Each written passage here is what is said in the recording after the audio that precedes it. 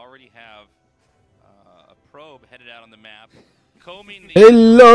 because we know Grand our, Final uh, DSL StarCraft history has gone เหมือน through lots of เหมือนเคย problems. เจอแล้วปะ Not gonna do that. คู่นี้แหละ This is แก gonna น be, ไฟนอล um, a little รอบนั้นถ้าจำไม่ผิด as far as my ฮีโร่ปะ hero. Yeah, but I think if ผม you're ภาค looking นี่แหละ at like เออผมภาคนี่แหละเราเราๆอยู่ infamous for ฮีโร่แบบ busting อือ out ฮะอือฮะ Marcus เล่น Raps, เล่นเร็วใส่มารุครับ Marauder cheeses, all sorts of different อะ เรามาพูดถึงแมตช์ล่าสุดที่เจอกันก็ทัวร์นาเมนต์นี้เช่นเดียวกัน calm approach. The safe and เป็นทางฝั่งฮีโร่เอาชนะ Maru ได้2ต่อหนึ่งป่ะเออโดน Maru นำไปก่อนหนึ่งเกมแล้วก็ตีขึ้นมา reverse กลับมา 2 เกม ใช่ไหมถ้าผมจำไม่ผิดนะเหมือนเรเนอร์จะมาดูการ final ด้วยหรือเปล่านะ เห็นเห็นแวบๆเห็นแวบ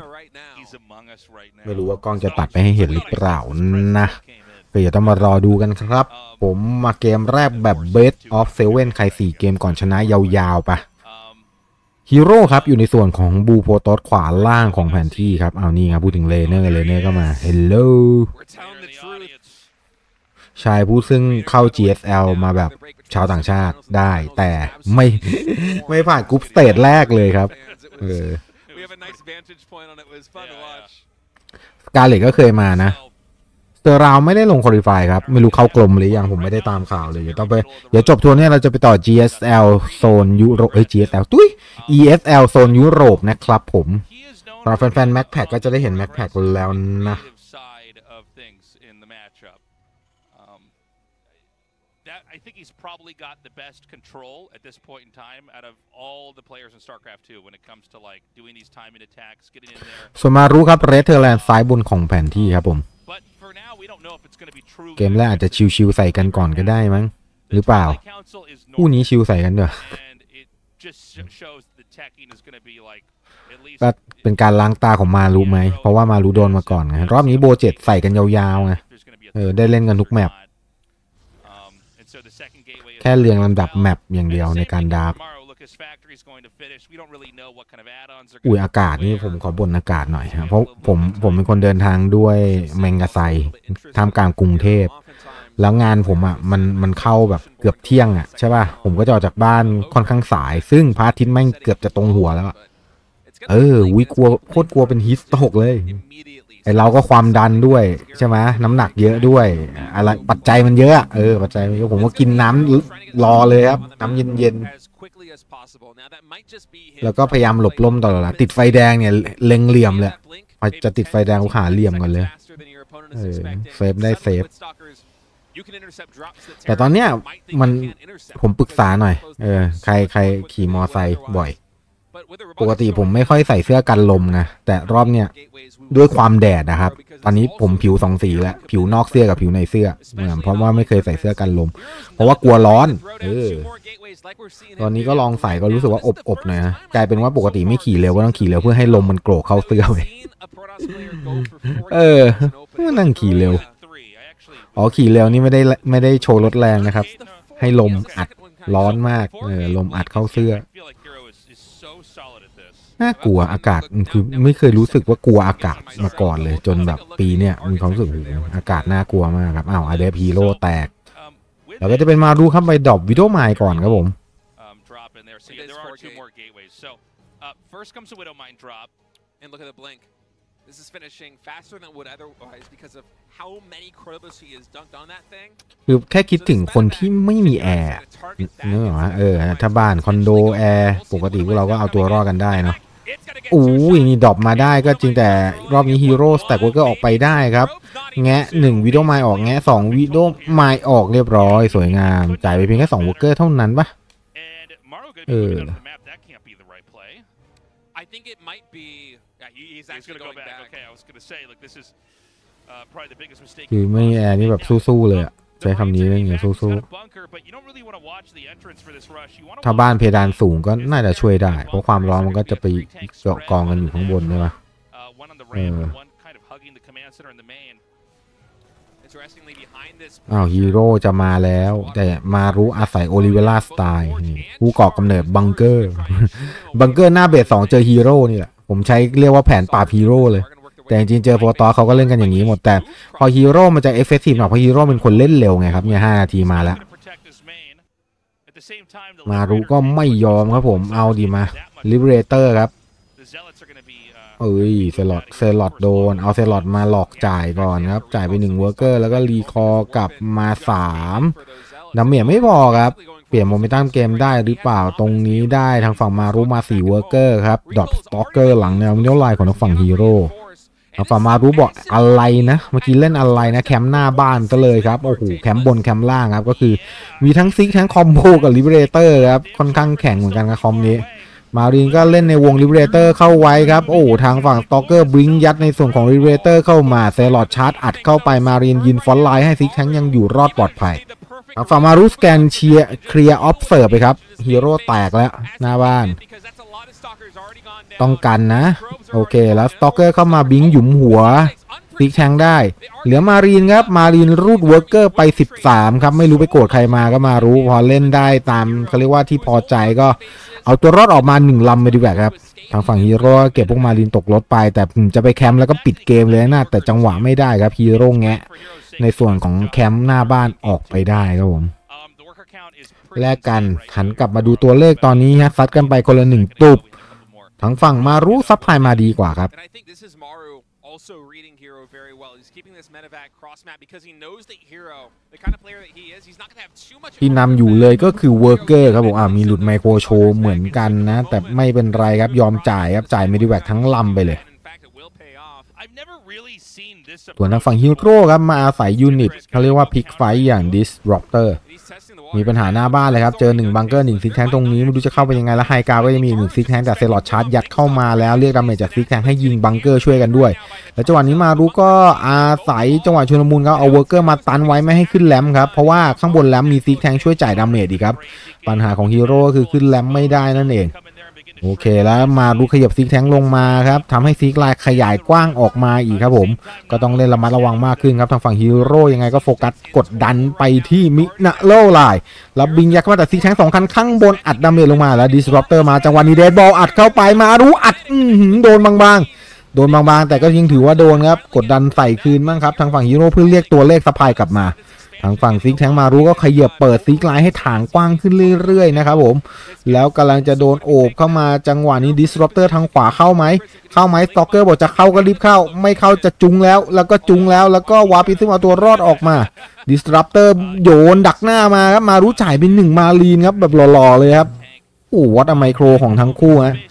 เปลี่ยน comp มาอีกนะต้องบอกเติมเติมรอบนี้ฮีโร่เติมมาเป็น Colossus พอเติมมาเป็น Colossus หน้าบ้านยังไม่จบหน้าบ้านยังไม่จบครับผม แต่ Maru ก็ไปขยับ siege line ออกมาเรื่อยๆครับเพื่อเขาเรียกว่า protect พื้นที่ตัวเองให้มันกว้างขึ้นครับในการเปิด base สามไปในตัว แล้ว drop ขึ้นมาเล่นข้างบนตรงนี้ Zealot ครับZealot ไปขุด Reactor ที่กำลังสร้าง Medivac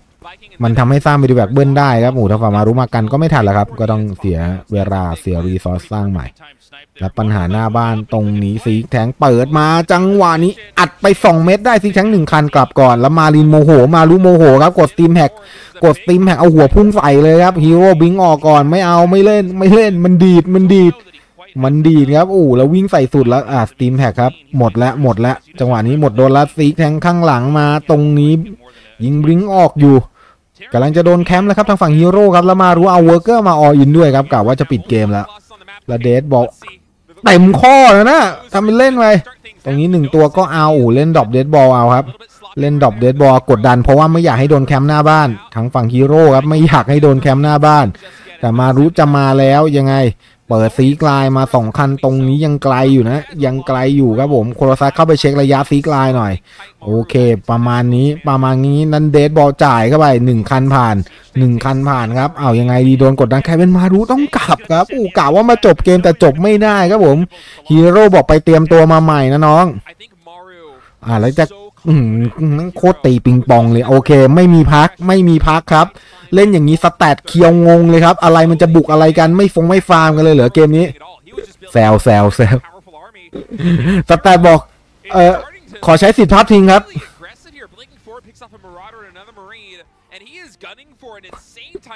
ไม่มีคำว่าฟาร์มในสารระบบสองคนนี้ แล้วเดทบอลอัดว่าอุ้ยเก็บขึ้นไปดีแวกอย่างกระโดนเบลลิงอย่างกระโดนเบลลิง โอ้มาลีนเข้ามาเจอโอ้เจอ Colossus โซนเอาไว้ครับ Marine เบรกแทบไม่ทันคือ Marine ถ้า Stimpack อะแล้วจังหวะที่ Disruptor มัน death ball ไปแล้วอะ Marine วิ่งเร็วกว่า Disruptor เยอะครับ สามารถเข้าไปปิด damage ได้ก่อนที่ death ball ระเบิดด้วยนะในบางจังหวะเล่นกันมา 10 นาทีเพิ่งเปิด base สามครับ เพราะว่าเอาไปลง army กันซะเยอะครับผม He's not fully committing to this attack. Instead, he's building up back at home, adding in more colossi, continuing ฮีโร่ตัวเลขตามนะ แต่รูปเกมทำดูเข้มแข็งมากๆครับทำให้ยังไม่โดนแคมป์หน้าบ้าน โดนกดดัน What a dynamic back and forth game to start game number one. This is what happens when you have a player who is uh, so good at creating chaos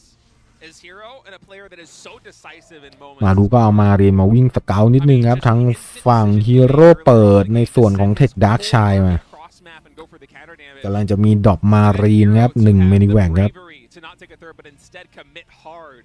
หนึ่งโปรหนึ่ง The โปร charge zealot and stalker counterattack. หนึ่ง and Medivac nothing แปด can be มาลีน caused. Both players taking their third base, getting their upgrades. เอาฝั่งมารุครับก็ expand แล้วเช่นเดียวกัน Adding in the Dark Shrine as well. So, Maru gets his third up here. He's continuing to produce. You know, by the way, how often do you ever see an SCV pull where they go all the way across the map, look at the situation, and send it back? I mean, he had to. He had to, but how often do you see it? It's very, very rare. And Unless so it really shows you. Yeah, lesser player just YOLOs mm -hmm. it mm-hmm. and goes, all right, we're going to go into game two. So uh, Hero continuing to grow, continuing to develop. Mario back on track here. He's getting his uh, Ghost Academy now. Oh, the bird, yep. And notice the uh, spotter pylons placed around the map. He doesn't want to get surprised, whether it's by a drop in the corner of the map or a push just through the ground. Yeah, and those spotter pylons in the current patch have plus one more vision range, and that might not sound like a lot, but it makes them a lot more useful. Anything you can do. เอาละ to get เกมเริ่มชะลอ 12 นาทีครับ เริ่มพักหายใจหายคอกันบ้าง vision เอ on something อ otherwise you wouldn't have seen in the past. แหม So beneficial. It's one of the reasons why we've seen players like Hero, like Stats use so many more โดน spotter สกิลเอาเสีย pylons บลิงก์ this season. เสียบลิงก์แต่ยังไม่พ้นครับอ่าเสียไปหนึ่งตัว แล้วสแกนดักหน้าปากซอยเพื่อเอาต่อตัวที่สองครับหูมารู้เดือดจัด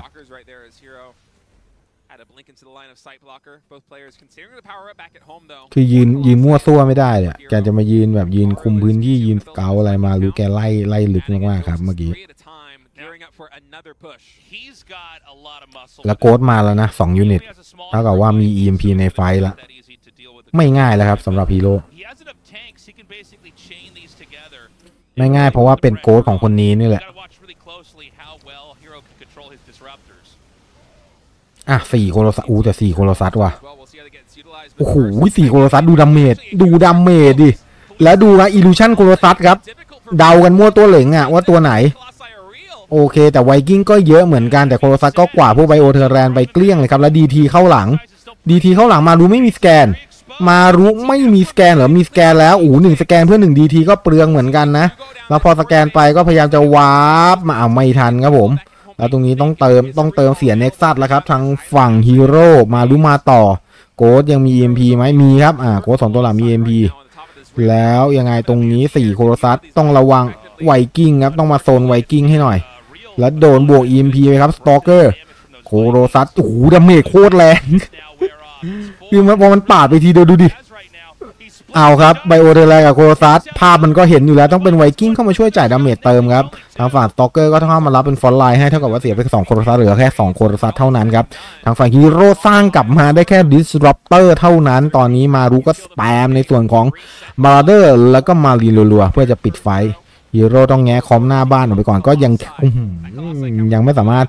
แคมป์หน้าบ้านได้อยู่ดีก็มารู้แคมป์ได้แป๊บเดียวก็ต้องกลับมาเติมของกัน แล้วก็เป็นการตีมปองครับดีทีหลังบ้านมาจังหวะนี้7 worker ผ่านไป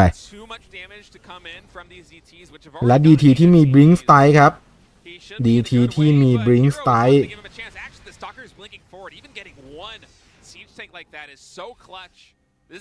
ก็เรียกเรียกสแกนได้แล้วพอสแกนหมด ก็ได้แค่ตัวเดียว เออ นี่คือการเล่นดีๆแบบ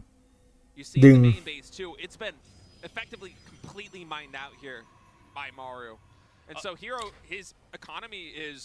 ดึง really ส good แกน right อะ now. เออ ดึง Whereas energy ของ Maru Orbital is Command ค still รับ just sitting on these three bases. That fourth command center has not been able to land just yet. And so now we have a, a bit of a tricky situation. There are not that many workers for Morrow, just to remind everybody. It's only 41. There are ดู70ออกนอกวงดูดิ Hero's ability to แล้วมันจะมีไฟท์ที่แบบมารู้ไม่มี energy สแกนสุดท้ายมารู้ต้องพึ่งเรเว่นครับ Hero is growing เพราะว่าจะไปตามสแกนตลอดอะ มันก็จะเรียกใช้มิวไม่ได้ มันเออแล้วมันต้องมีช่วงจังหวะช็อต It has a lot energy อยู่แล้วครับ แล้วจังหวะนี้ อ้าว Raven มาถึงก็พังก่อนเลย เพราะฉะนั้น fight นี้ฟรี Dark Templar หรือเปล่า แล้วเสียสแกนไปอีกแล้วครับ death ball โซนดึง fight เอาไว้ก่อน ทางฝั่งนี้ Maru ต้องเร่งสร้าง Raven ลำใหม่ออกมา ก็เป็นเวลาให้ทางฝั่งฮีโร่ครับเติม Colossus ออกมาครับ หรือว่าสร้างใหม่ออกมานั่นเอง As Maru finally lands เกมแรกก็ 16 นาทีและสบายใจกันแหละทีนี้ไม่น่าเร็ว ไม่น่าเร็วแล้ว For the first time in a while, it feels like it's starting to eclipse Maru in supply. แต่จุดสังเกตคือฮีโร่ไม่ได้อยากไป Sky Toss ครับเออเล่น comp ที่ตัวเองเข้ามือเดียว The fact that Maru hasn't really been able to drop many ไม่ต้องดูคู่ต่อสู้ด้วยแหละ เอาครับดูว่าใครจะปิดเกมนี้ได้ครับผมภาพเกมมันไม่ชัดเลยนะตอนตอนนี้ฮีโร่ก็ตี supply ขึ้นมาแล้วครับ จากตอนแรกที่มารู supply ดีกว่านะ Scan comes down here. Hero just has to do a control play here. He has to try to keep ไป the Terran zone. ก่อนจะไฟท์กันก็ You don't want ดู the มาถึงนี้ Terran 16 to circumvent คนละหนึ่ง you. ไลค์มาครับนี่ขอไลค์ขอไลค์หน่อย ช่วยอัลกอริทึมนิดนึงตอนนี้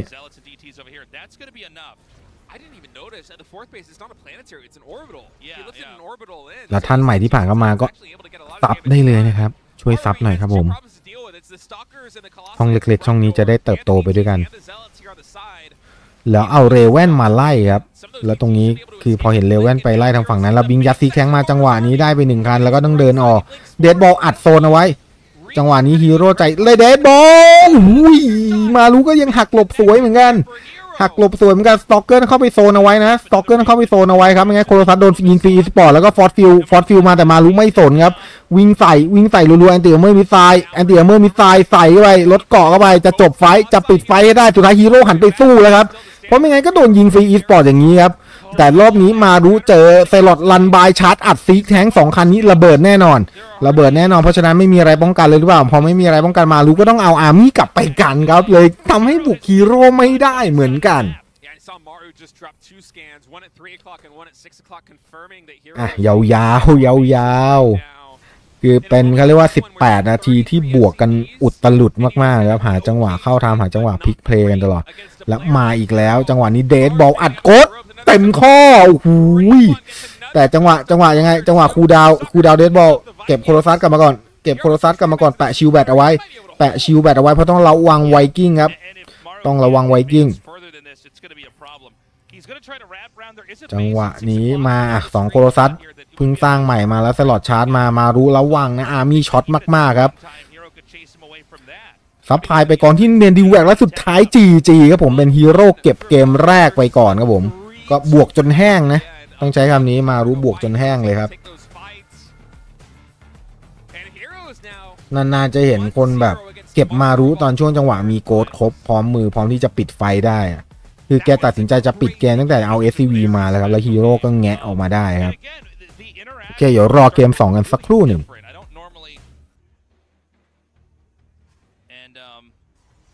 เกม2ครับฮีโร่ Blue Protoss ขวาบนของแผนที่นะครับ แล้วก็มารูครับ Red Terran ซ้ายล่างของมันดีบุกจนแห้ง นานๆจะเห็นมารูบุกจนแห้ง ไม่หรอกเขาโดน Zealot runby ด้วยแหละคือบุกแต่ละทีก็เจ็บ เพราะว่าหลังบ้านก็ระเบิด บุกทีหลังบ้านก็ระเบิด yeah, the upgrades also อาจจะต้องปรับแผนหรือเปล่า เพราะว่าเกมแรกต้องถือว่าตัดการเงินทางฝั่งฮีโร่ได้ไม่ค่อยดีสักเท่าไหร่ มีเงินเล่นไง มีเงินเล่น Zealot runby ก็สบายอะไรเงี้ย ทรัพยากรมันพร้อมใช้ กลายเป็นว่าฝั่งบุกต้องมาภาวะพะวงมากโอ้โหอันนี้เขียนยังกับพิมพ์ เขียนไปเขียนลายมืออันอย่างนี้เขาเรียกลายมือสวยใช่ไหม Not the Hey. G7L or whatever people were doing, G, GS7. G8L, I think, is what we got to do. We just take the S and we close it off. now, um, โอ้แล้ววันนี้เกมใหม่ออกครับเตล่าเบด ได้แต่มองวันจำผมจะไม่ซื้อเดวันแล้วเข็ดเข็ดกับรีเบิร์ดยังไม่ได้แกะเหมือนกัน พูดทุกคลิปเลยรีเบิร์ดแกะยังพี่มีเริ่มมีน้องหลังรีเบิร์ดแกะยังครับ ยังไม่ได้แกะ เพิ่งเล่นยูนิคอร์โอเวอร์ลอดจบครับ ขายครับ 1,400 บาทส่งฟรีครับผม ราคาโคตรมิตรภาพเลยแผ่นมือหนึ่ง2,000กว่าบาทนะหาได้ถูกสุดก็พันเจ็ดพันแปดอะตามพ่อค้ามือหนึ่งอันนี้มือสองไม่ไม่ได้กีดซีลนะซีลทิ้งไปแล้ว ผมเป็นคนไม่ค่อยไม่ค่อยแบบ อะไรนะ ไม่ไม่ค่อยกรีดซีลอะเออ ก็เลยขายถูกหน่อยพันสี่รวมส่งโค้ดยังไม่ได้ใช้นี่ประกาศขายในคลิปซะเลยนะครับ หรือใครจะเทรดอะไรก็ลองเสนอมาก่อน เผื่อมาแลกกันเลย วินวินอะไรเงี้ย Rise of Ronin อ่าผมผมลิสต์รายชื่อเกมที่อยากได้มาบอก So far, first Reaper coming across the map. สเตลล่าเบรคงยังหรอมั้งมันเดวันอะเออเล่นกันไปก่อนเล่นกันไปก่อน Don't believe Maru can get in. I think even with this Reaper wall, he can't fly up and then grenade himself over as we see players do in the past. And the response to the two gas scout from Hero was actually going to be Stargate. Stargate and additional adepts. So the Stargate มารุ obviously ก็เล่นรีเปอร์ต้นเกมครับ very, very different สเกล type. ยับ We gotta เวอ see. ร์เกอร์ต้องวิ่งมาปลูกกับอเดฟ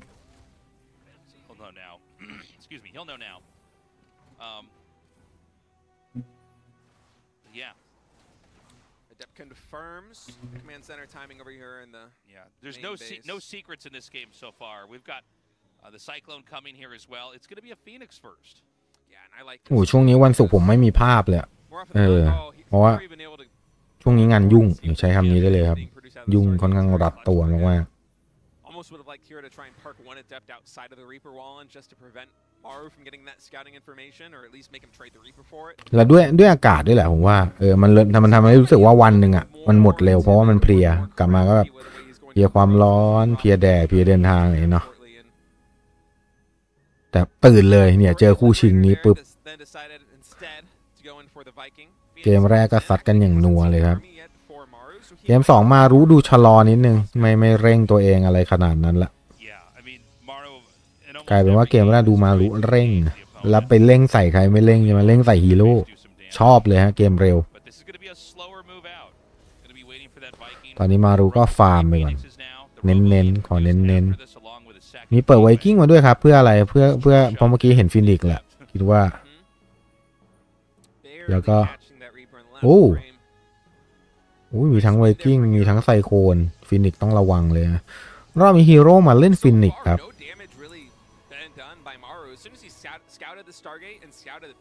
แล้วสร้างเรื่อยๆด้วยนะ ไม่ใช่สร้างไว้ลำหนึ่ง scout นั่นน่ะแกโถม Phoenix สี่ลำต้นเกมเลยอะเจอไซโคนมาก็ก็ร่วงครับ เออ ไม่ใช่มะม่วงก็ร่วงได้ แล้วเอา worker ไปด้วยเหรอ ว้าว แล้วทางฝั่งนี้พยายามจะ scout มาเข้ามาปะเข้ามาโอเค แต่ไซโคนตามตามดูดน่าจะ ตาย แล้วตรงนี้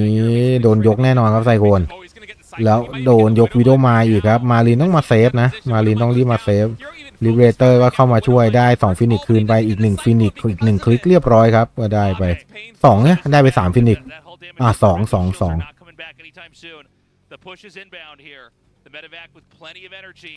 Immortal อุ๊ยปัญหาคือ Immortal เลยครับเพราะอะไรเพราะว่าไซโคนมันสู้ Immortal ไม่ได้ เออ มันยิงแหกหมดอะอะไรที่เป็น machine อะ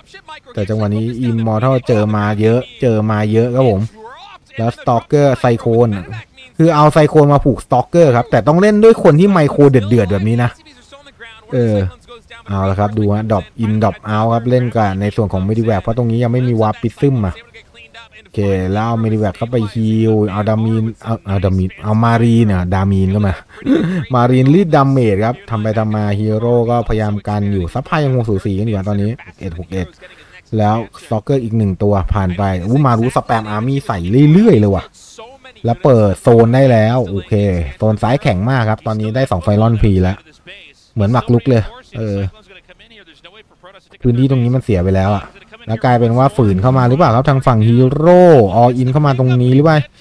ยังไม่ได้วะไม่ได้ไม่ดีแหวกอะไม่ได้ไม่ดีแล้วดูแล้วดูโอ้ยวิ่งหนีเวอร์เกอร์โอ้ยตายเอ้ยขวัญเอ้ยขวัญมาลูกเอ้ยอิมมอร์ทัลฮะใครหนีเวอร์เกอร์น้ำตาจะไหล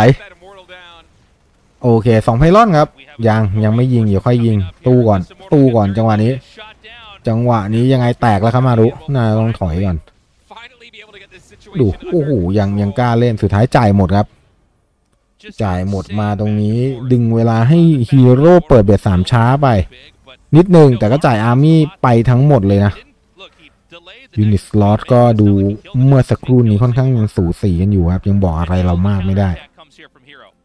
โอเค การตีปิงปองครั้งที่หนึ่งอะตีโต้มาครับ ทางฝั่งฮีโร่หลังจากโดนบุก siege tank นี่ไง siege tankจะ blink ใส่ปะล่ะห รือจะยกตัด damage ปะล่ะก็ marine ผูกอยู่ครับผม แล้วฮีโร่มองไปที่ fleet beacon ครับ เล่น Sky Toss เลยเหรอเพราะไหนๆก็มา phoenix แล้วตรงนี้ขอ raven เป็นหนึ่งล I like that trading out one Phoenix just for one Raven. Already starting plus one air weapons. Seems like Hero's actually taking a page out of Stats' book. He's going straight into Sky Toss. He's even building cannons. This is wild. Not exactly what I was expecting Hero to do here, by the way. No, but to show It's- this kind of range this early in a best of seven, especially I mean, here in game two. Yeah. เอาละครับ เปิดเบสสามครับผม With the Phoenixes again. He's going to get a read on exactly when this third base is ฮี going to โร่ก็ฟินิกส์เกาเช็คของหน่อยมีอะไรแปลกๆไหมคุยทรงคุยเซอร์อะไรจะมาอีกไหม Underway, Eight minute mark. Yeah. And so this is ลาแล้วครับ carrier เป็น carrier A number of carriers together. แบบค่อยๆมา You don't normally go for สร้างทีละสองลำสองลำเพราะว่าอินคัมมันได้แค่นั้นนะ more commonplace in the late game. I almost want to say that we haven't even seen stats go for carriers quite this fast, and I don't even think that. yeah, that's มันมีแค่สามเบสอะการเล่น carrier สามเบสนี่คือต้องมั่นใจมากๆเลยนะว่าจะเด็ดอยู่อะ This is coming in. As it ปกติ stands, carrier มันจะ Wolverine สี่หรือห้าเบสครับ one cyclone มั่นใจว่ามิน e ร a ลที่เล่นมันจะฉ่ำพอ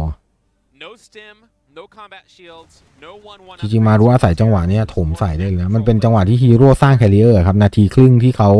โยนเงินไปรอของ So นี่นึกออกใช่ไหมโยนเงินไปรอของอะ ยังไม่มีของให้เล่นอะ รออย่างเดียว รอของเข้า He is scanning to see แล้วมาแล้วครับลำแรกหรือว่าชุดแรก actually beat this. I'm gonna move แคริเออร์ชุดแรกจะ forward. ทำให้มารู้ปรับแผนการยังไงหรือเปล่าสองลำ ปรับแผนการของทางฝั่งนี้ก็ต้องเป็นไวกิ้งครับ viking ghost เห็น carrier แล้วสแกนมารอบนี้ แต่มารุยังไม่กลับครับ ก็ยิง interceptor ทิ้งอาศัย marine นี่แหละ แล้วกดดันใส่กำลังจะได้อ่าได้ cannon ไปตามต่อ shield bat ไหม phoenix บินออกมาขู่เหมือนกัน แต่ขยับ siege tank มากครับ เล่นตามสไตล์ Terran แบบคลาสสิกเลย เออแบบ เรียกว่าโอ s คูลค่อยๆไล่ไปแล้วนี่ raven oh my god การจ่าย jamming ครับทำให้ carrier ครับ เป็นแค่ก้อนดินที่บินได้อะเพราะว่าปล่อย interceptor ไม่ได้ครับ โอ้โห แล้วขยี้ไฟไปเลยครับผม 14 worker ผ่านกับ1 nexus ครับ raven ครับ raven ตอนแรกผมก็นึกว่าไป viking ghost ไม่ครับ จบด้วย raven นี่แหละฮะตามต่อครับ unit สารพัดประโยชน์จริงครับ raven tempest ยิงเหงาๆไป ยิงเหงาเหงาๆไปจังหวะนี้ยังไงอะไร tempest อะไรนะ อะไรนะ อะไรนะ ขอ2 nexus เลยครับมารุแล้วก็รูด worker ไปอีกครับผมโอ้โหโคตรมีปัญหาแล้วครับ ตอนนี้ทางฝั่งฮีโร่เพราะว่ามาเล่น Sky Toss โดยที่มี worker แค่ 44 เนี่ย มันแห้งสุด ๆ เลยครับ And of course, Maru now up to four bases, doubling Hero in this position. I think Hero is gonna try and come back from this จับ position. อ่าจับตกรถเป็น 2 ไซโคนได้แล้วก็มาด้วยชิปฮีโร่ต้องโต้กลับเลยไหม Quite low, although he is reproducing them at six at a อย่าดู time. ว่ามารู้จะสับคอมอะไรมาเล่น Whereas Hero, he's building a mothership. He's adding in two more carriers. นี่ฮะ He's Viking มาแล้ว the third base. สแปมไวกิ้งละ It's not looking good for Hero in เดี๋ยวดู any การรับ sense. มือสกายทอสของทางฝั่งมารุนะครับ He doesn't สกาย have ทอส much บาย going ฮี for โร่ him at all, except for the upgrades and the carriers. That's ก็เรียกว่าแฟนๆสองคนได้ดูกันฉ่ำอะเพราะแฟนฮีโร่ก็อยากเห็นฮีโร่เลดเกมสกายทอสใช่ไหม You need อะ to ได้ดู somehow แล้วครับ survive into a max แต่มันยังไม่เลทมากอะแกเอาเทมเพสนำมาเลย ไว้ยิงเมดิแวกนี่แหละ Not taking into Storm, he's instead adding in ยิง another อย่างไกล Stargate. He's going to burrow those Widow mines. คือระยะยิงมันไกลกว่ามารีนนะครับ Try to drag that mine into the uh, infantry there. This is going to prompt the Marauders to try to tear down the destructible rocks. เนี่ยยิงฟรีไปเรื่อย Again, there's just a lot of uh, meat. It's a very beefy army that Maru has, so it's very tough. Uh, now you can try to เปิดทางมาแล้ว marine stimpack อัดใส่อัดใส่อัดใส่ได้ไปหนึ่งลำได้ไปหนึ่งลำตรงนี้ไม่กลัวครับยิง interceptor ครับยิง interceptor หายหมดแล้วยังไง marauder เอาหัวหมง เอาหัวหมงเข้าไปล่อ interceptor ล่อ interceptor ครับให้ไปยิง marauder เพราะ marauder มันถึก แล้วจังหวะนี้ marine จ่าย damage ตามต่อมาเก็บในส่วนของเทมเพสไปก่อนแล้วมาราเดอร์วิ่งเอาหัวหมงเข้าไปหาเน็กซัสเลยครับ กลายเป็นว่าฮีโร่ต้องรีคอครับแผนอะไรของมารุครับเนี่ยอย่างเดือด Mineral count here for Hero โอ้ is โห so dismal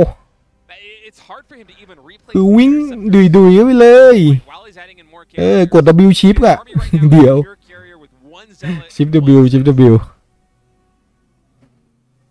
And at this point in time, the Viking count. แล้วก็เอาแมนดิแวกไปรับกลับมา Next โอ้โห Viking move here.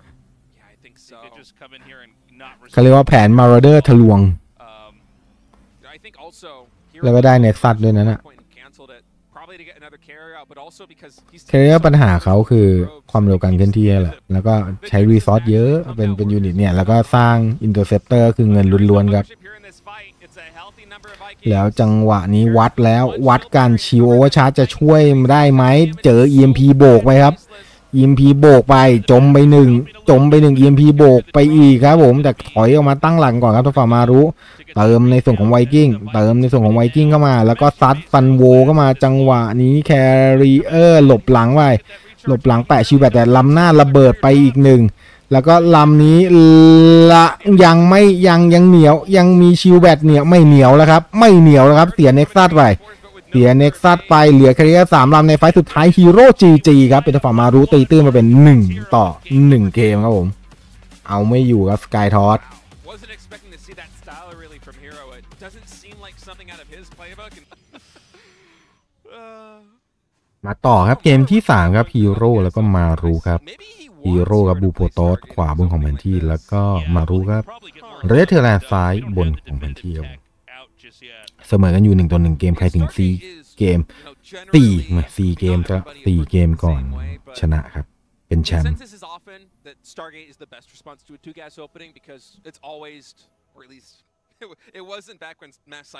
เกมแรกฮีโร่ก็ผัดกันบุกมามาผัดกันบุกกำลังรับแต่ฮีโร่ล้วง economic ของมารุได้ดีกว่าครับทำให้มารุบุกจนแห้งไปเอง ส่วนเกม2ครับ ทางฝั่งฮีโร่กับเจอมารุโถมโถมโถมยัดครับจนจีจีให้ครับ พอคู่เนี่ยคู่ที่ทันทันๆกันอะ มันจะไฟท์กันไม่ค่อยถึงดีกา มันจะเห็นภาพแล้วว่า โอเคแพ้เออแบบเออโอเค แพ้ละอะไรเงี้ยประมาณว่าลูกคาด แต่หมากอยู่เต็มกระดานเลย Because you don't have quite as much firepower as you would going into Twilight Council, which is what Hero is doing this game. I- It's a bit tricky for ซึ่ง him มา to รูก็ set เข้ามา goals แบบเหนือความคาดหมายอยู่เกมหนึ่งนะ เกมที่ซัพพลายเขาตามเคียวมากเลยครับ ตามแบบอุ้ยน่าจะหนึ่งในสามเลยว่าหรือหนึ่งในสองอะสองในสามอะประมาณเนี้ยซัพพลายตามแต่กลับมาได้ครับ To play a style that on paper is good against what Maru is doing, but in practice, ก็คือฟอร์มเริ่มเข้าฝักแล้วนั่นเอง ส่วนทางฝั่งฮีโร่ก็เข้ามาเดือดๆครับ เจอ strat เกมเร็วเจอเกมช้า เกมเร็วก็ตบเข้ามาก่อนได้ yeah, there's no Robo yet, so Yeah, and there needs to be some uh, some tech coming up here or a third Nexus. that's a bit curious. I suppose given the change where you need illusion Phoenix เข้ามาครับก็ได้ข้อมูลไปค่อนข้างเยอะเลยครับทางฝั่งฮีโร่ all the time, even after they fire- แต่ไม่เห็นลำนี้นะ the current patch. You can delay that robo a bit longer than กำลังจะเจอดอกวิดโอไมครับมารูบินก็มาผ่ากลางแมปมาทางขวาเข้าด้านล่างนี้ปกติเขาจะบินใส่กันด้านบนเพราะมันถึงใกล้ไงเป็นทางเลือกที่ใกล้ที่สุด แต่นี้เลือกอ้อมมาด้านล่างครับ ก็คิดว่ามันน่าจะวีค Meanwhile, that's just to draw the screen away. The real action's gonna be แล้วก็ over ดอก here, วิ but ดโอ you're ไม already เข้ามาเล่นได้ตรงนี้จ่ายหนึ่งเวอร์เกอร์มารู้ไม่ยอมจ่ายครับ หรือจะจ่ายดีเดี๋ยวจะไม่ได้จ่ายเลยอะ ยอมจ่ายครับผม เพราะไม่งั้นเดี๋ยวอาจจะไม่ได้จ่ายเลยครับ I mean, you're gonna lose it no วิดโอ matter ไม what, so just get it ได้ as ไปเพียงแค่ much หนึ่ง idle เวอ time ร์เกอร์ as แล้วโอ้ possible. ไม่ได้แบกเลือดไม่ค่อยแสบสู้ดีครับ เข้าได้ไหมเข้าไม่ได้ครับ พยายามจะสะกิดสะกิดมาหามุมมองว่ามีอะไรรอต้อนรับอยู่ไหมพอเห็นปุ๊บก็ปล่อยเข้าไปก่อน เข้าไม่ได้จริง Cloak Banshee. This is ฮี looking โร่ like คุมเข้มมากครับ the swarm build almost It's- with a it's Cloak fun. Banshee อื้อหือ tank ไม่ได้เลย coming up behind this. เพื่อ Medivac หนึ่งลำคือหก Stalker ต้องยอมแล้วปะ Well, I think even if, uh, unless Protoss knows that it's coming, which maybe this hallucinated Phoenix will give the tell here to Hero, the Cloak Banshees are going to get damage done. Because you Wow. can't have you can't have the observers in the p- perfect อ่าครับ position. ห้านาทีครับ This Banshee is going to come around all the way into the main base, and it should be able to มา pick รู้ off จับไปก่อนเลยไหม at least a couple of probes because this observer coming out in the natural expansion isn't really going to go to the ทาง main ฝั่ง base. ฮีโร่เปิดเบสสามก็มาแต่มามาไปก่อนยิงด้วยครับ มาแล้วครับ จะเป็นเปิดก่อนได้เปรียบหรือเปิดก่อนได้ปูดดอกวิดโอไมล์ก่อนสักรอบหนึ่งโอ้ยห้าหลุดจนได้เพราะเป็นจังหวะฮีโร่ต้องมากันหน้าบ้านอยู่พอดีครับ แล้วตรงนี้เปิด siege line มาหนึ่งกดดันเป็นจังหวะเปิด expand base 3 ด้วย แงะ shield batt ออกให้ได้ โอเค แงะ shield batt ออกได้แล้ว แล้ว โอ้ Banshee มา cloaking ยิงฟรีก็อีกครับ เรา observe มาแล้ว observe มาเอา Banshee ออกมารอด โอเค รอดออกมาแล้วก็กดดัน Nexus blink ยัด Siege Tank ก่อนสวยงามครับทางฝั่งฮีโร่ตัด damage Siege Tank ไป 2 คันเรียบร้อย Marine กับ Banshee ช่วยกันจ่าย ช่วยกันจ่ายครับ ช่วยกันจ่าย Siege Tank คันใหม่มา นี่คือแกกะจะเอาจบจริงนะนะเออดูจะเอา Nexus ให้ได้ครับเผื่อได้ด้วย จ่ายมา 400 ใช่ไหมหนึ่งเน็กซัส แล้วบิงเจ็บซีกแทงก่อนครับมาดูยอมจ่ายเลยครับ เพราะว่าเอา objective ครับ ก็คือ Nexus แล้วก็กลับแล้ว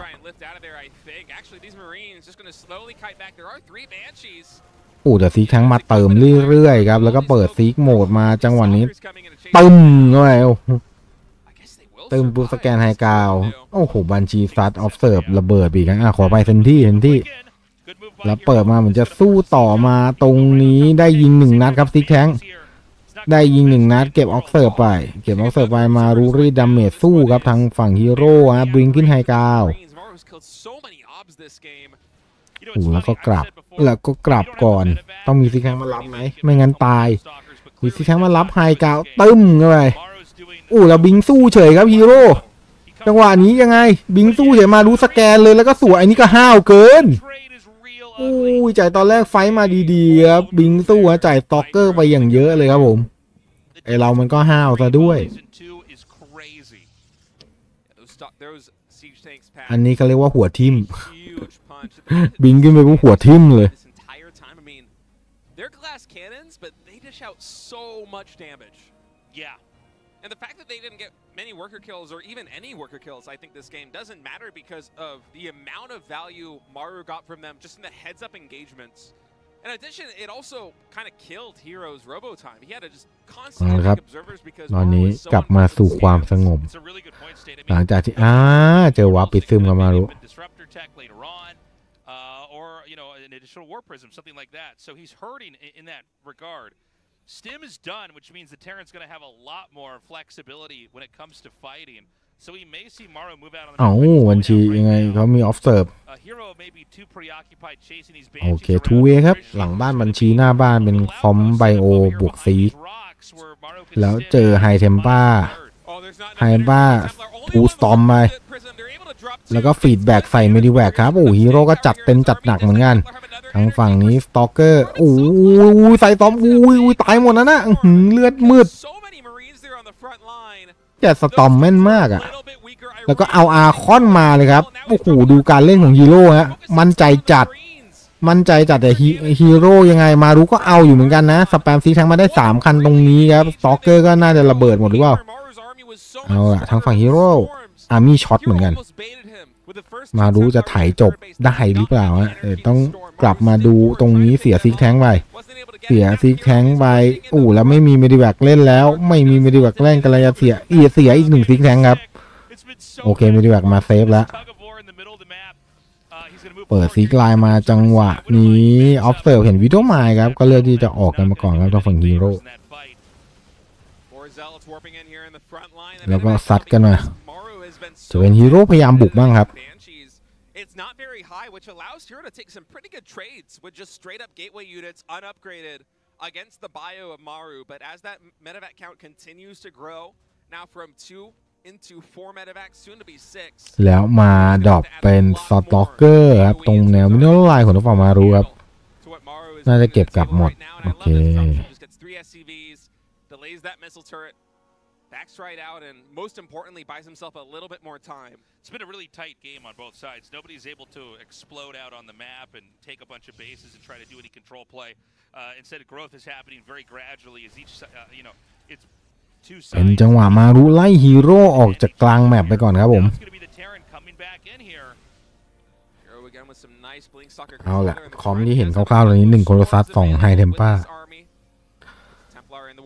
นี่คือจะไป drop Psi Storm ก่อนเลยเหรอ Is he gonna get it? แล้วก็ drop storm มาจังหวะนี้ Siege Tank จุ่มไป Morphs and Archon right ซิ now กแทงจุ่มไปแล้วโคซัดยิงข้ามฟากมาครับเกียร์ซิกแทงไปได้มารู้ต้องกลับเลยหรือเปล่า The map architecture working so เพราะว่า damage ค่อนข้างหายไปเยอะครับเวลา Siege Tank หายกลาง fight แบบนี้ Yeah, I think Maru a little bit too ambitious to put his tank that close to that area. And that, that's another big ต้องพูดว่า tank โดยเฉพาะ you know, ตอนที่มี he wants to have Siege Tank แค่ those tanks คันเดียว that can really, uh, chain those tanks damage together มันเหมือนหายไปหมดเลยครับผม EMP โบกไป the tanks are picked off, and suddenly the Terran uh, doesn't have any kind of foothold on the side of the map they're trying to take. I feel like Hero over the past couple of minutes has taken two incredibly good เอาครับ engagements. เป็นทางฝั่งฮีโร่บุกกดดันมารู้บ้างแต่ก็อืมยังทำไม่ค่อยถนัดถนีสักเท่าไหร่ครับ blink ออกมารีเซ็ตกันใหม่ มารู้หลังจากมี Ghostดูว่าจะเข้มแข็งไหมหรือว่าฟาร์มก่อน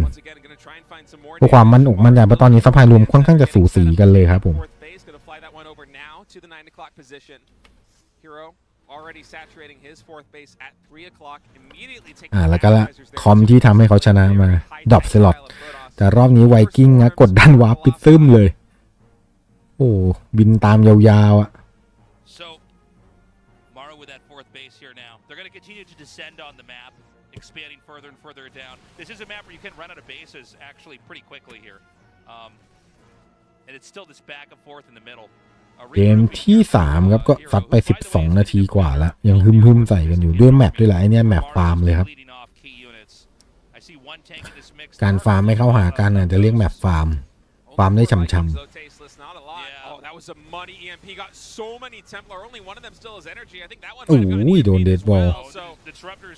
แต่ก็ไล่จับคนตกรถแล้ว Colossus โดนยิงฟรีอยู่ Stalker มารับ frontline ก็ยังเสียทั้ง Colossus เสียทั้ง Stalker แล้วตรงนี้หลุดไมโครครับฮีโร่จบเลย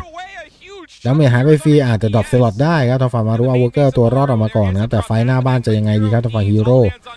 ทางฝั่งฮีโร่ไม่กันเหรอไม่กันเขาเข้าข้างบนเลยนะแล้วก็ EMP บวกมาจังหวะนี้เริ่มเริ่มแห้งเริ่มแห้งแล้วครับฮีโร่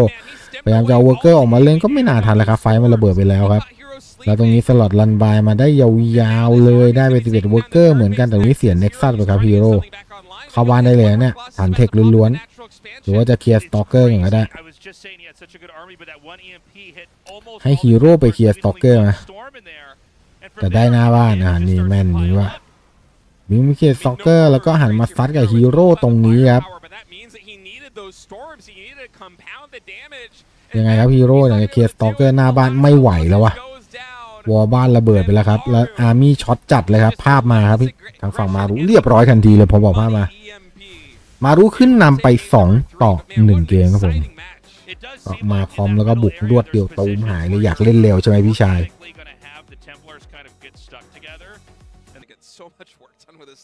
อะเกม4ครับผมมารุขึ้นนำไปแล้ว 2 ต่อ 1 เกมครับ มารุครับอยู่ในส่วนของเรสเทอร์แลนขวาล่างของแผนที่ครับผม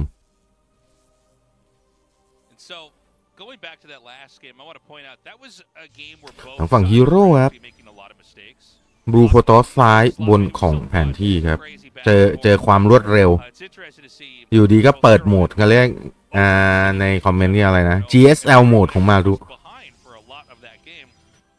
just happened to get an EMP or two that connected into all of the Templars.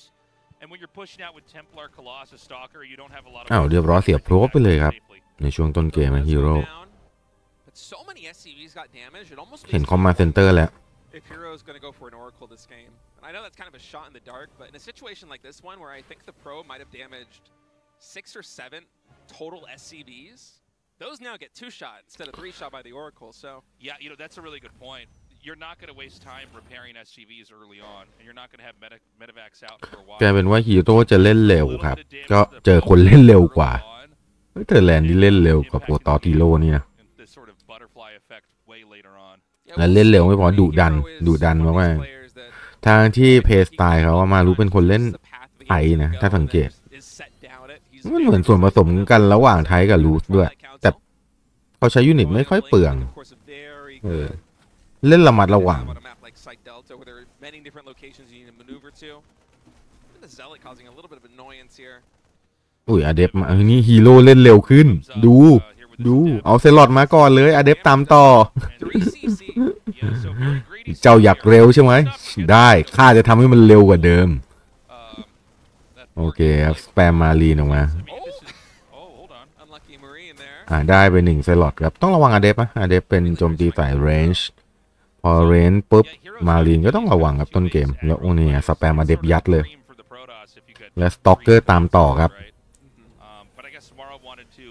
fit this in somewhere. Why not do it when you're in a 2-1 lead? Each อะ game เป็น is จังหวะ a win or a expand loss ครับ natural expand ของทั้งคู่ and a bit more of a story about yourself and how you see the game and the range of play you've got. ก็มาถึงตรงนี้นะครับ ใครเพิ่งเจอช่องนี้ครั้งแรกนะครับ ผมชื่อปริงนะครับ ไม่มีลอลิงนะมาปาลิงอีกแล้วปิงเฉยๆปิงเฉยๆ ฝากกด subscribe เอาไว้ด้วยนะครับผมแล้วก็สู้กับอัลกอริทึมนะฮะช่องเล็กๆของเราก็คนละหนึ่งไลค์หรือว่าคอมเมนต์พูดคุยกันก็ได้ครับผม เดี๋ยวผมจะทำแบบช่องเมืองนอกแล้วกันเขาจะมีคอมเมนต์ปักหมุดเขาเรียกว่าอะไรนะกัน spoil ให้ เออ แล้วเพื่อนๆจะได้ใส่กันที่คอมเมนต์ข้างล่างกันอย่างเต็มที่ เพราะว่าบางทีดูใน mobile ดูในแอป อย่างเงี้ยมันจะเขาเรียกว่าอะไรมีคอมเมนต์ขึ้นมาเรื่อยๆใช่ไหม Is there an Uh, ผมจะปักว่ากัน spoil เพื่อนๆก็ดันเมนกันเอาไว้ เราก็ไปคุยกันอย่างข้างเขาเรียกคุยกันข้างล่างได้อย่างเต็มที่ ก็ลองดูเออเขาเรียกว่าอะไรเรียนรู้ไปด้วยกัน YouTube เขาก็มีของเล่นใหม่ทุกวันเนาะอะวอหน้าบ้านเรียบร้อยครับตอนนี้แต่ฮีโร่มาแล้วครับ 4 นาทีครับบิงยัดเลยโอ้โหดูดันไม่เกรงใจใครออ all new hero ได้สามเวอร์เกอร์ครับ กับมารีนสามตัว Kind of crazy. Uh, ตรงนี้ He does kill off one of the cyclones. There's another tank out here. We don't have the next warp in round yet. Now there's a proxy gateway, but there's also a warp prism being made. So it's going to be not just pressure on the front, but he could just try to blink up into the main. And he's going to go double eBay behind, อ๋อ him, ก็ which means he's still leading เข้า by มา three. ต่อครับ อืมหืมอีกหนึ่งไซโคแรกกับอีกหนึ่งต็อกเกอร์ แต่รอบนี้เจอซีแทงเข้ามาฮีโร่หงายเก่งเลยครับ Full-on execution with บางทีก็ the ดุดันเกินไป Stalker that got away. I think he thought there was going to be คือเข้ามามันเลือกได้แค่หนึ่งอะ tanks there. จะเอา ไซโคหรือจะเอาซีแทงก็กลายเป็นว่าไปเลือกไซโคเลือกไซโคเสร็จก็ระเบิดหมดเลยครับ A very kind of Korean, because these Korean mannerisms that you'll sometimes see with that kind of that head turn uh, like that. Uh. That's a real like ah, I messed up. This sucks. Well, I mean, the build's been completely derailed now. Yeah. And one of the things that I think Hero might have been playing into is the fact แต่ that มา Naruto ต่อฮะ spotted อืมไม่มีไม่มีไม่มีผ่อนคันเร่งครับฮีโร่ This could potentially even be a robo ผมว่าเกมแรกที่เก็บมาได้ก็คือ And then if Hero retains all บุก of his เล่นหนัก support, ตั้งแต่ต้นเกมอะพอบุกเล่นหนักตั้งแต่ต้นเกม มารู้ก็กลายเป็นว่าต้องไปเอาเอาโมเมนตัมเกมคืนก็บุกจนแห้งเลย No more mind games, and he's going to come in, see the commer- command center, and Hero's going to be feeling อ๋อครับ really เห็นซิกแทงครับบิงหลบซิกแทงมา จังหวะนี้เข้ามาเล่น He went ได้ไปสี่ได้ไปสี่โอ้ได้ไปแค่สี่ครับ as Terran. The On top worker. of it, he thwarted a four-gate blink aggression coming out from Hero in convincing fashion. So, I mean, Heroes โอ้ trying เดี๋ยว to ดู put การ it วาร์ป back, อิน but you know the อื้อ writing is on the หือ wall. วาร์ปอิน Hero วาร์ป has เอา that third ฟาบ command ฟาบ center ฟืบ up. ฟืบ It's gonna be more mules เล่นเหมือนง่ายอะ coming down. ทั้งคู่อะ There's two eBays, so the เอ upgrades อ are not gonna be behind. ทำให้เราดูแย่ Um, ทำให้เราไปเล่นแล้วดูแย่ นี่เล่นเกมเดียวกันวะเนี่ย เล่นเผ่าเดียวกันวะเนี่ย เล่นยูนิตเดียวกันวะเนี่ย Yeah, Hero even cutting มันทำได้ขนาดนี้เลยเหรอ Despite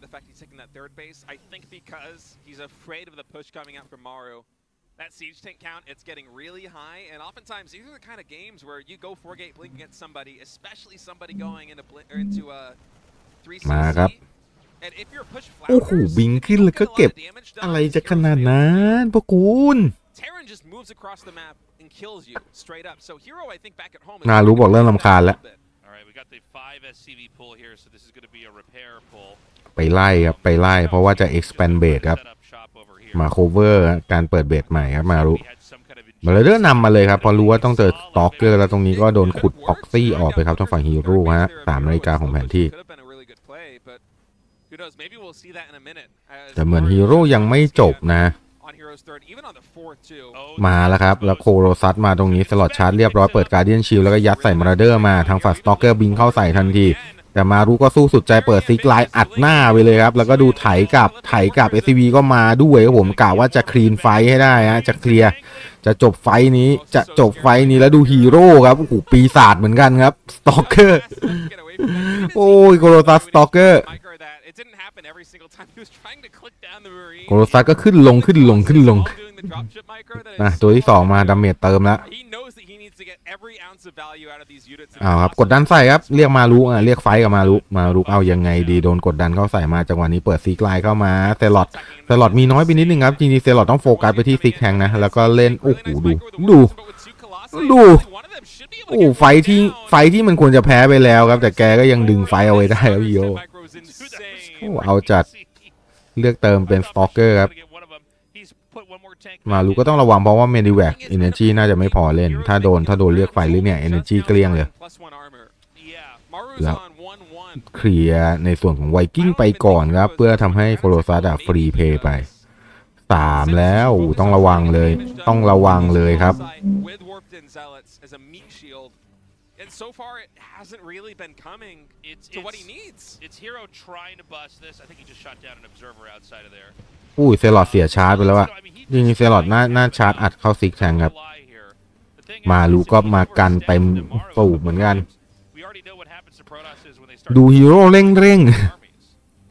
Yeah, Hero is basically all in with อะ his ยังไง own มาเข้าข้างหลัง since he's taken มาเข้าข้างหลังตรงนี้ happen right now. จังหวะนี้ force field set เอาไว้อู้มารุแก้ด้วย Medivac ครับ ไม่มีใครยอมใครเลยฮะแต่หลุดทางขวามาแล้วมารุอพยพ worker ออกมาตรงนี้ต้องเอา worker ออกมาก่อนครับ warp in เติมอะ warp in เติมมา Zealot เข้าไปลึกมาก ๆ เลยครับ ตรงนี้ไง force field เอาไว้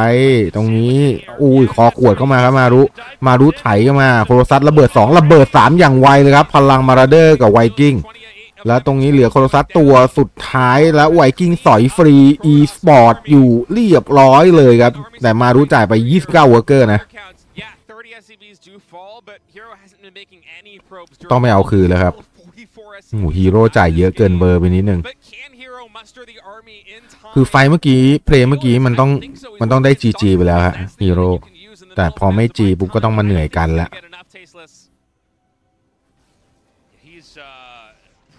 มาแล้วครับฮีโร่รู้หมด observe ตามอยู่ I mean, it's stalkers. You can buy a little bit of เนี่ย time. observe ตามตามมารุที่กำลังเคลื่อนกองกำลังขึ้นมากดดันฮีโร่เหนื่อยแล้วครับ army อย่าง short นะครับฮีโร่บุกไป fight เมื่อกี้มันไม่ได้เกมนี้แล้วมันกำลังจะโดนเอาคืนแล้วครับ แล้วจังหวะนี้ Zealot ลงมาละลายอย่างไวเหลือ Stalker Disruptor death ball มาก็ไม่ connect ครับ มารุขึ้นมาทางขวาเรียก GG ได้ครับโอ้โหตีโต้ไม่ตีโต้กันมา เป็นมารุเก็บ win ไปเท่ากับว่าเกมหน้าเป็น champion point ของทางฝั่งมารุแล้วครับขึ้นนำไป 2 ต่อ 1 เกม เอ้ย ขอไป 3 ต่อ 1 เกมอะเนี่ยมึนแล้ว3ต่อ 1 เกม ขออีกแค่เกมเดียวแล้วมารุ So good. I, you know, it's Yeah, yeah. it looks like It's a it. zo- it's a they zo- gotta, they That's gotta, a re- มา champion point ของทางฝั่งมารุครับฮีโร่อยู่ในสถานการณ์ลำบากแล้วฮะสำหรับรอบชิง GSL 2024 ซีซั่นแรกครับ หลังจากจบซีซั่นนี้อย่าพักแค่ประมาณแป๊บเดียว เหมือนเขาจะต่อซีซั่น2เลย Reynor เขามารออยู่แล้ว ใครดูต้นคลิปใช่ไหมโอเคครับมารู้ครับเรเทอร์แลนด์ซ้ายล่างของแผนที่แล้วก็ฮีโร่ครับผมบูโฮตอสซ้ายบนของแผนที่ครับ have a much better chance. I mean, think about how well he was able to fight back after that overextension with the Colossus push on the third. I mean, say he has those stalkers alive the whole game. Say he gets some damage with them, not a ton. And then uh, the game leads to another timing attack like that one at Maru's third base. Maybe he actually has enough to break him because he came very close. Look at this blocking. It's like watching a PVZ. Yeah, yeah, I was gonna say, Cirque players losing their minds right now. Um, But yeah, Hero has been overextending, and he, he's kind of infamous for being the most ambitious blink on topper of like every Protoss player in the world right now, especially when it comes to three and four gate blink builds. I mean, this is a guy that just lives by the sword and dies by the sword. He will blink on top of your natural expansion, not knowing what the hell is going to happen when he gets there. Sometimes it works, sometimes it doesn't. Mario had basically everything in the front, including a siege tank. but you know, one of the issues is that he's blinking in when he doesn't have enough stalkers to two-shot the target, Right. which means he's making some kind of mistake. Uh, you know, the difference between two-shotting something with stalkers ยังมีการ and พ็อกซี่ three-shotting กันนะครับ All 2 those นาที blades are gonna ครึ่ง do so much เปิดกัน damage ตามเขาเรียกว่า normal view order เลย that target. He was doing it to both cyclones uh, as well as tanks. So it shows that the execution's not quite there for Hero uh, just yet. Maru, you know, it's funny. He's also compared to the TVT earlier. This has been a much more bumpy series, even though he's winning. even though he's looking pretty good. เจอไล่ เจอไล่ครับอเด He's ฟ also had some very unusual movements in the early game. I think this is partially to mix it up. มารู้ก็มีใครตัวเลือดน้อยออกมาด้วยนะ He does seem to be at the point in time uh, as a professional player. He's he's at this อืม moment แต่ where ส he แปม can มารีนไว้ดักเพราะรู้ว่าฮีโร่จะเล่นเร็วครับ ก็เลยไม่เล่นรี It's เปอ making ร์เลย the game a little bit more challenging, whether it's Cure or now Hero in the finals. คือไงมารีนมันได้ปริมาณอยู่แล้วครับ ในช่วงต้นเกม แล้วก็มีวิดีโอไมเซตดักเอาไว้ด้วยโอ้เซฟเพย์กันสุดๆ ทางฝั่งฮีโร่ก็สแปมไซคอนิคันเฟอร์ครับปวดก็เรียกว่าป่วนประสาทไปเรื่อยๆ อารมณ์แบบอย่าเผลอนะแจ๊ะเออเผลอเปิดบ้านมาเมื่อไหร่ก็เข้าเลยครับ ดูฮารุก็ไม่ยอม อย่างป่วน แล้วเล่นเร็วจัดเลยครับ ไมโครสต็อกเกอร์มาครับ ยังไม่สี่นาที แล้วก็เร่งสร้างโลโบครับ เอาวาปิดซึม Slide in there. ดูว่าจะเร็วได้ขนาดไหน Exactly as my opponent doing, trying to see that tech. It should be just out of range of the factory and the starport. Yes, He's- but sorry, go, I I was going to say if Hero was really on point with a vision right there, he could have seen kind of the the shadow of the Widowmine right there by the wall, Oh, that's a and good then point. Shaden again, and now he doesn't see it. So he should have an idea. If he was paying perfect attention and did notice this thing, he should know that a Widowmine drop is coming his way. Now, this is a map where it's pretty obvious a Widowmine drop is very tempting, but he doesn't have stalkers at home. So, like, this is already, I- I feel like Hero's game is just a little bit off. He's going to land him right in here. And now mm-hmm. we're going to have probably a little bit of Burrow and Burrow. No, he's just going to let him take out two. Pick เอา him ละ up ครับ and go elsewhere. เคลียร์อย่างไวมารู้เล่นแล้ว They're still beelining towards the โอ้ Terran base. ย Yeah, but there's a siege tank out Clean there. fight ด้วยว่ะ It's enough to stop this if it is จังหวะ sieged นี้ up. Instead it อะ is ได้มา siege, รีน so คืนกลับไป Hero บ้าง get a little bit of chip เปิด damage on สี the Marines. กดดันมา Please don't blink on the siege tank. Yeah, ฮีโร่ก็บิงหนีออกไปก่อนครับ I can just see, I can just see the alternate reality where he does. And Hero is kind of known for doing this, where he will just send everything cross map, and if a Widowmine drop comes into his base, then so be it. Actually, hold that thought. This one is at least going to get one shot. โอ้ off. โห Five probes go down. ฮีโร่โดนวิดีโอไมซัดเข้าไปอีก Pretty big damage. ห้าเวอร์เกอร์ เหมือนทำอะไรก็ดีไปหมดเลยอะดูดิ Both there already processing the fact that this game is getting a little bit out of his control. He's going to try to lean in again here with the Oh, stalkers. Now they're going to wow. pass each other like two ships in the night. Yeah, Hero's beelining to blink through the mineral p- p- wall on the left side, and Maru's just going for the jugular right now. The siege tank push, push of the natural. I don't know if Hero's going to have enough, and he just recalled, by the way. He recalled the stalkers to deal with this. It's going to be a little bit before he has another recall available to bring these guys Yeah. back home. So he's going to come in right now. Hero's going to อ่ะ realize. เป็นจังหวะเกมบุกของมารู้ครับ แชมป์ไหม แชมป์ไหม เอาละ The stalkers ฮีโร่ก็บุกสวนคืนกลับมาเหมือนกัน is actually bleeding แต่มารุบุกสองทางอะดิมีทั้ง Liberator แล้วก็หน้าบ้านครับ ได้เปรียบว่าแล้ว Colossus ตรงนี้สร้างไม่เสร็จแน่นอนเรียบร้อย ปิดไฟครับ แล้ว Liberator สาดไปยับยับ17 worker ครับโอ้ยมาพลาดเกมไหนไม่พลาดครับผมมาพลาดเกม5 Home to try and deal with this. The Liberators เอาแล้วครับฮีโร่ recall กลับมาก็ไม่ทันแล้วแผลใหญ่มากๆครับ ตรงนี้ตัวเลขตามจัดจัด worker ต้องยังไงเอาตัวรอดออกมา แล้วพยายามเคลียร์ Siege Tank ก่อน โอเค ได้ซิกแทงได้ลิเรเตอร์ว่าจะเสียเน็กฟาดโอ้ยโอ้เรียบร้อยเลยว่ะโอ้โหคุ้มแล้วคุ้มแล้ว คุ้มจนไม่รู้จะคุ้มยังไงแล้วครับ หนักครับฮีโร่หนักจัด มารุบอกสบายสบายค่อย ๆ ไปแล้วตอนนี้ ได้เปรียบสุดๆแล้วครับทางฝั่งมารุเป็นฮีโร่ต้องไปเอาคืนแบบร้อนรนด้วยซ้ำ เข้าไปเจอ Siege Tank ก็ G ได้เลยปะเนี่ย โอ้โหเข้าไม่ได้ครับว่ามารุพร้อมเอา worker ออกมาดันด้วยนะ แล้วดู Clear Observe วิ่งใส่ด้วยมั้ง เอาครับซีกแทงโบกก็ไปอีกจีจีนี่ไงบอกเห็นซิกแทงอาจจะจีเลยก็ได้ครับเพราะถ้าฟาร์มสู้ต่อไปก็ไม่น่ารอดอยู่ดีครับผมเดี๋ยวถ้าฝั่งมารู้ครับ ชัยชนะไปได้ครับ GSL ปีนี้เป็นของเราอีกครั้งหนึ่งครับสมฉายาจริง King of GSL ครับ ก็เดี๋ยวขอปิดเสียงนะ บางทีเพลงมันโดน LC ให้ดูให้ดูภาพบรรยากาศ ต่อยแม่งเออโทษโทษโทษโทเขาแซวกันเขาแซวกัน เรียบร้อยครับแหมมารุโหมด GSL นี่มันของจริงจริงโอ้ยปวดคอปวดคอยกสูงไม่ได้ นี่แกเจ็บจริงนะเนี่ยไม่ได้เจ็บเล่นเห็นปะแกยกถ้วยสูงไม่ได้ นะครับผม สปอนเซอร์ร้านนวดต้องเข้าแล้ว เออ นี่ซอฟต์พาวเวอร์ประเทศไทย มานวดไทยเลย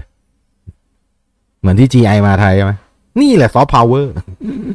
ดังไกลถึงเมืองนอก